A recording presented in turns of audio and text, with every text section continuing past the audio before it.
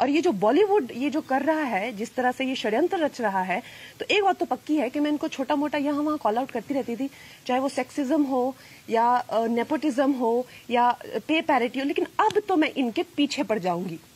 और मैं इनकी वाट लगा दूँगी, एक एक को एक्सपोज करूँगी। And one thing is for sure कि इन लोगों ने they have call for trouble by ganging up on me तो फिर ये लोग जो हैं, क्यों डर रहे हैं, क्यों खिसिया रहे हैं कि मैंने नेपोटिज्म के करके बोला? तो इनकी हवाइयाँ उड़ गई। सब गैंग बना के बैठे हुए हैं कि नेपोटिज्म के बारे में इसने क्यों बोला? तो सब इकट्ठे हुए हुए हैं। जैसे कोई क्लासरूम होता है, बच्चे समझेंगे, साठ लोगों का क्लासरूम हो, जिसमें एक बच्चे के खिलाफ बाकी के फिफ्टी नाइन अड़ जाए बिल्कुल, उसको किसी ना किसी तरह से सताने में या बुली करने में लग जाए।